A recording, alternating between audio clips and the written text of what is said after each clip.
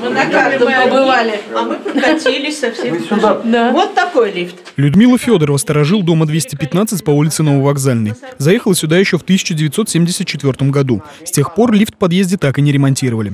И вот спустя 43 года в доме новый транспорт по этажам. Пока шел ремонт, Людмила и другие жители поднимались по лестнице, не возмущаясь. Все были предупреждены письменно под роспись, что вот эти две недели вам придется ходить пешком.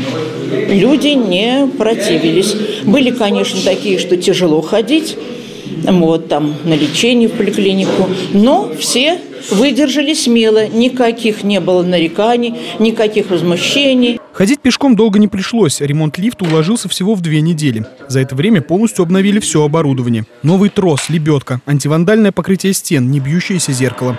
В лифтовой все автоматизировано. Установлены электронные датчики, сделанные по современным технологиям. Лифты у нас сейчас выпускаются энергосберегающие с применением последних технологий, частотным приводом управления и открытия дверей, что обеспечивает плавные движения лифтов, плавное открытие, закрытие дверей – ну и самое главное, комфортабельные поездки наших э, жителей. Предусмотрена защита. Если лифт остановился на этаже, то дверь автоматически откроется, человек может выйти.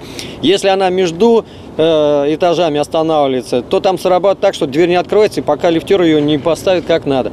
Видеокамера там установлена, чтобы вандализма не было. На данный момент в Самарской области по программе капитального ремонта заменили 560 лифтов. Это около 110 домов. На 2017 год запланирована замена еще в 34.